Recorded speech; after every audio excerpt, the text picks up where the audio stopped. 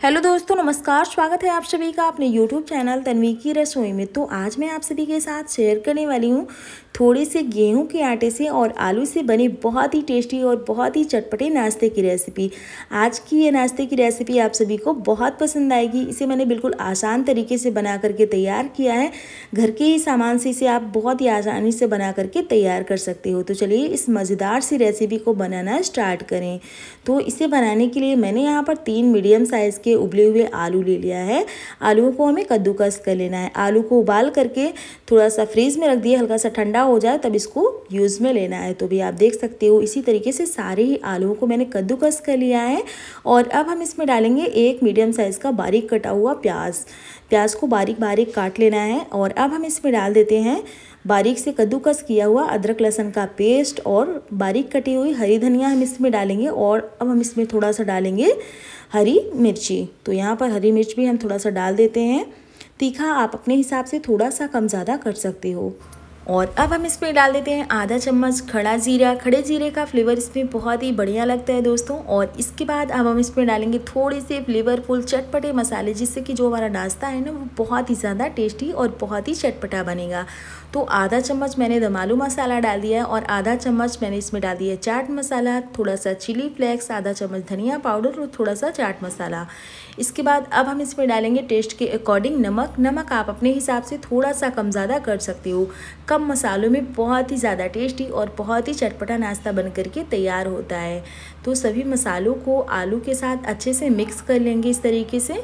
बढ़िया से हमें इसको मिक्स कर लेना है दोस्तों।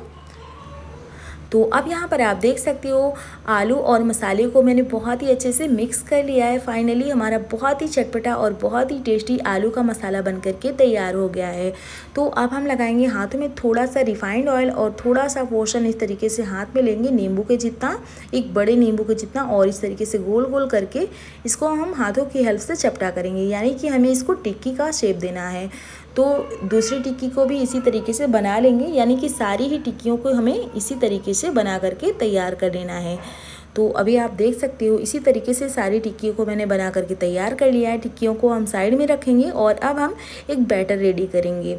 तो यहाँ पर हमें पाँच चम्मच के करीब गेहूँ का आटा लेना है। खाना खाने वाले चम्मच से पाँच चम्मच में गेहूँ का आटा लूँगी। और इसके बाद अब हम आटे में मिक्स करेंगे काला तिल। तो यहाँ पर आधा चम्मच के करीब मैंने इसमें काला तिल डाल दिया है। आप इसकी जगह सफ़ेद तिल भी ले सकते हो। बिल्कुल थोड़ा सा मैंने इसमें हल्दी डाल दिया है और थोड़ा सा मैंने इसमें डाल दिया है चिली फ्लेक्स और इसके बाद अब हम इसमें डाल देते हैं थोड़ी सी बारीक कटी हुई हरी धनिया डालेंगे और इसके बाद अब हम इसमें डालेंगे एक बारीक कटी हुई हरी मिर्च। टेस्ट के हिसाब से नमक सभी को अच्छे से मिक्स कर लिया है।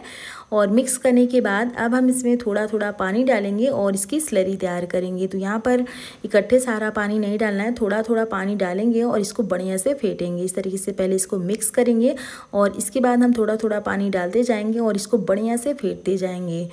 तो अभी आप देख सकते हो, ये अभी काफ़ी गाढ़ा है।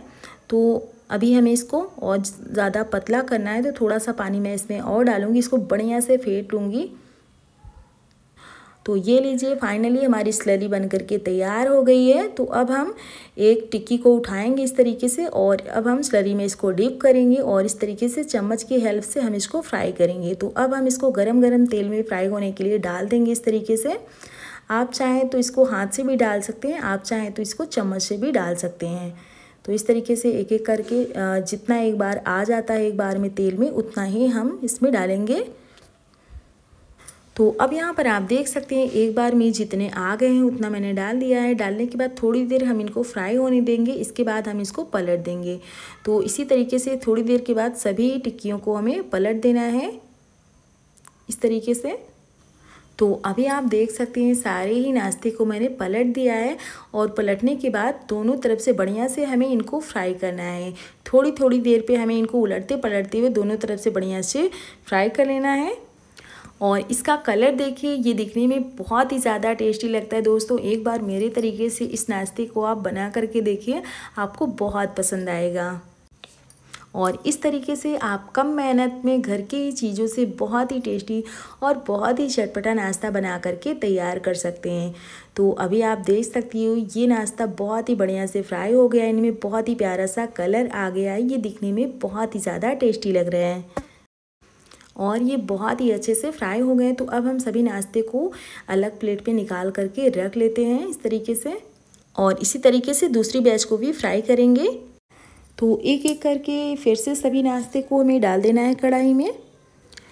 तो अब यहाँ पर आप देख सकते हो सारे ही नाश्ते को डालने के बाद अब हम इसके ऊपर थोड़ा सा गर्म तेल डालेंगे और इसके बाद हम तुरंत से इनको पलट देंगे। तो ध्यान रखिए, थोड़ी देर इनको फ्राई होने दीजिए, इसके बाद इनको पलट दीजिए। तो उम्मीद है दोस्तों कि आज की ये रेसिपी आपको बहुत पसंद आई होगी। अगर पसंद आई हो तो प्लीज़ वीडियो को लाइक करें चैनल पर नए हैं तो चैनल को सब्सक्राइब करें, साथ ही बेल आइकन को प्रेस करें ऑल पे क्लिक करें ताकि मेरी आने वाली सभी वीडियो की नोटिफिकेशन आप लोगों तक पहुँचती रहे। तो अब यहाँ पर आप देख सकते हो, इसको भी मैंने पलट दिया है और इसे भी हम थोड़ी थोड़ी देर पे उलटते पलटते हुए बढ़िया से कलर आने तक इनको हमें फ्राई कर लेना है। तो अब यहाँ पर आप देख सकते हो, ये भी बहुत ही अच्छे से फ्राई हो गए हैं। सारे के सारे नाश्ते बहुत ही अच्छे से सीख गए हैं। तो अब हम इनको अलग प्लेट में निकाल करके रख लेते हैं। तो अब यहाँ पर आप देख सकते हो, सारे ही नाश्ते को मैंने एक अलग प्लेट में निकाल लिया है। आप पास से देखिए, ये बहुत ही ज़बरदस्त, बहुत ही टेस्टी नाश्ता बन करके तैयार है। तो फिर मिलती हूँ अगली वीडियो में ऐसी ही नई नई और इजी रेसिपी के साथ। तब तक के लिए बाय बाय टेक केयर।